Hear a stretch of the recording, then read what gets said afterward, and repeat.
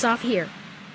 Let me tell you why I think the award-winning Plotagon is awesome and deserves more customers. First of all, the animation looks really good. And second of all, there's over 100 in clothing to choose from.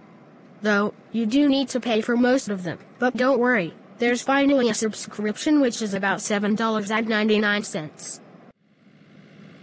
And third of all, making your own avatar is really good. Now with the new update, you get plenty of clothes to choose from. Well, that's all I have to say about this.